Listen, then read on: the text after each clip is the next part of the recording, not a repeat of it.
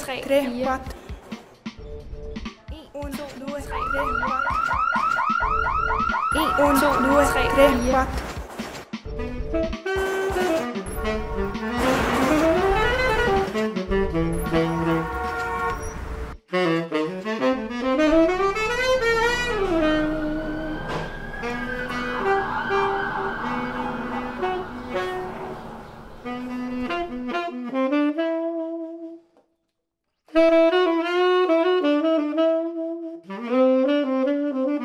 Yeah, he's one of the best musicians I know. He plays like a black person from Harlem.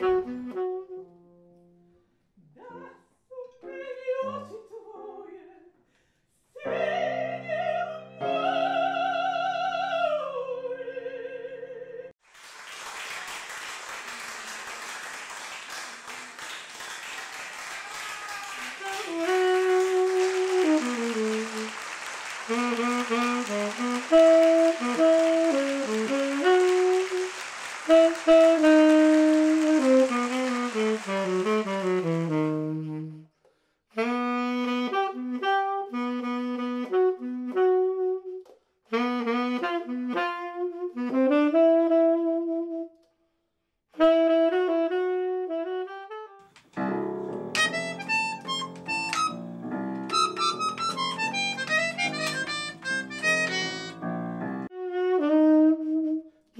Thank you.